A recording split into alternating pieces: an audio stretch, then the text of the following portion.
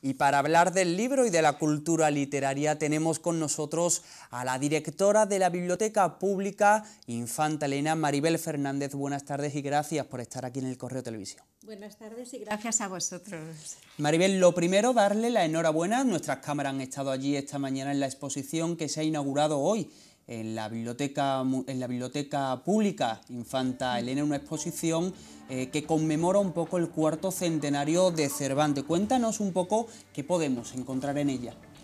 ¿Qué decimos? Hoy se conmemoran los 400 años de la muerte de Cervantes, de la muerte de Shakespeare, de la muerte también del Inca Garcilaso de la Vega, que hoy hemos tenido una extraordinaria mesa redonda gracias al Centro Andaluz de las Letras, con la mesa redonda con Eva Díaz Pérez y Fernando Iwasaki, pero en realidad no conmemoramos la muerte, conmemoramos la vida, porque la biblioteca, las bibliotecas públicas son lugares llenos de vida.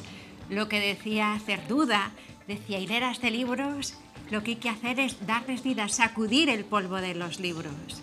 y eso es lo que ah, queremos hacer, creo que pretendemos en, las bibliotecas públicas. Y seguro lo estáis consiguiendo desde luego en la Biblioteca Pública Infanta Elena. Cuénteme un poco, al margen de esta exposición de la que estamos hablando, cómo celebra eh, vuestra biblioteca este Día del Libro. Pues ahora precisamente esta tarde estamos teniendo un, concierto en diferentes espacios de, la biblioteca, gracias también al Conservatorio de Música. Y, el sábado, que en realidad el, el, 23, aunque en fin, dicen eh, alrededor del 23, no se sabe si es Cervantes, pero en fin, alrededor del 23, y entonces tendremos una actividad infantil. Muy bien, sin duda es, necesario. También involucrar al público más joven, al público infantil, esa pasión por la literatura y por los libros. La biblioteca al margen del día, del día del libro, que ya sabemos que se celebra oficialmente el sábado, pero al margen del día del libro, la biblioteca pública Infanta Elena es una biblioteca eh, que huye de los estereotipos, de los conceptos clásicos de biblioteca y así lo venís demostrando con una amplia oferta cultural eh, Yo creo que es necesario, ¿verdad? Que las bibliotecas un poco, bueno, pues además de ofrecer la literatura, pues se ajusten un poco y, ofrezcan cultura a toda la ciudad, ¿verdad? Sí, porque al principio uno dice, bueno, una biblioteca pública, una biblioteca pública, pues lo que dice, eh, hileras de libros, en fin, hileras de DVD, hileras de, de, películas, es como un supermercado gratuito que está muy bien, uno se puede llevar un libro para llevárselo, pero que, han evolucionado las bibliotecas, porque esto también por internet lo, podemos conseguir. Entonces, las bibliotecas no, de, pasar como un supermercado, por decirlo de alguna manera, pues eh, lo que se hace es que, que se cocina, porque lo que se pretende en fin, también se hace el préstamo de libros, pero lo que pretendemos es crear un espacio interactivo. Entonces, pues hay talleres, presentaciones de libros donde interactúan, se tiene la oportunidad de, preguntar y, ese momento es único, ese momento no, se puede conseguir a, través de, YouTube, por ejemplo. ¿Cuáles son los talleres que más les gusta a los sevillanos de este tipo de las actividades que se realizan en la Biblioteca Infantalena? ¿Qué es aquello que, observáis que más aceptación tiene entre, entre el público?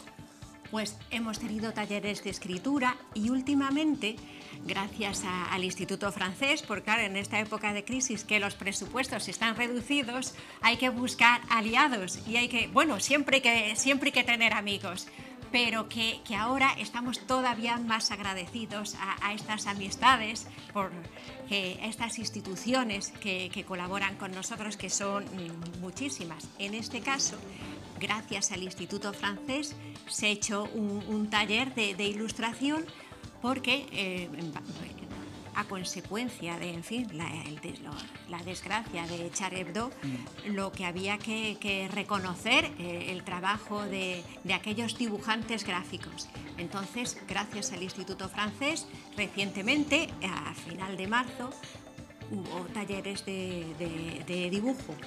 Supongo que es importante para una biblioteca como la Biblioteca Infantalena que quiere oír un poco, un poco de eso, de ser simplemente prestadores de libros, que es importante el apoyo de instituciones, de empresas privadas que quieran involucrarse en una tarea difícil y constante como esta.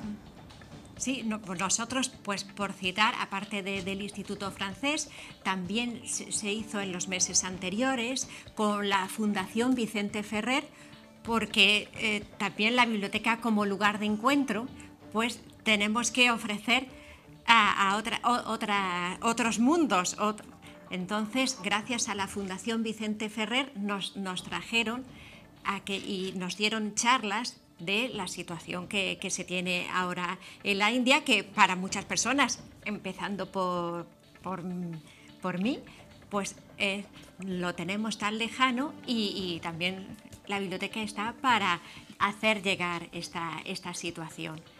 Hicimos también mercadillos solidarios y hemos conseguido hasta una casa para, eh, en la India. Así es que gracias a, a la Fundación Vicente Ferrer también tenemos que agradecer a una asociación creada dentro de la propia biblioteca, la asociación OGNOS, que estará en la Feria del Libro y, también proporciona actividades en la biblioteca y no solamente dentro de los muros de la biblioteca, sino que, que, hace llegar la biblioteca a otros espacios donde nos resulta más difícil llegar y donde quizás sea más necesaria nuestra presencia. Entonces, pues en centros de menores Mm. Estas pasadas Navidades, gracias a esta asociación, pues hubo actividades para conocer la lectura y conocer la, la biblioteca en estos centros de menores. Bueno, pues ya lo saben, importantísima la labor que se realiza desde esta biblioteca sevillana muy cerquita del Parque eh, de María Luisa. Maribel, para despedirnos, eh, cuéntame un poco cómo, observa, cómo observas que está el panorama literario, el gusto por la literatura en nuestra ciudad ahora mismo. ¿Hay, hay cultivo? Yo creo que sí, pero claro, tenemos que, hacer llegar más este cultivo y este conocimiento a, Sevilla. Entonces, claro, lo que queremos es ir más allá de, los muros. Si dice, la biblioteca es un espacio sin barreras, pues eso es lo que queremos, que no haya barreras y llegar la literatura a otras zonas donde mm, no, tienen, es más difícil, tienen menos posibilidades. Bueno, pues Maribel, para eso eh, encontrarás en el correo en esta casa siempre un gran aliado, para llevar la cultura a toda la ciudad y a esos lugares donde es más difícil, es más difícil entrar. Te despedimos, muchísimas gracias por estar, por estar aquí.